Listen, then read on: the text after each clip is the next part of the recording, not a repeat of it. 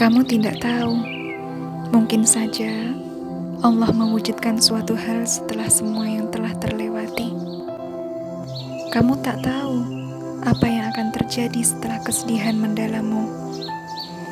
Kamu tidak tahu akan seperti apa keadaanmu nanti.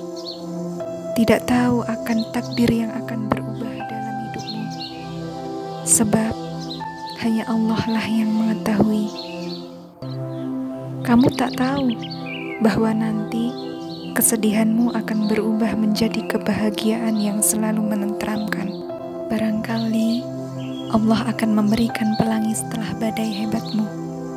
Kemudahan akan menjemput usai kesulitan yang terus menghadang. Penderitaan akan sirna dengan datangnya kebahagiaan. Kesedihan akan mengalihkanmu pada keadaan yang sebelumnya belum pernah terjadi.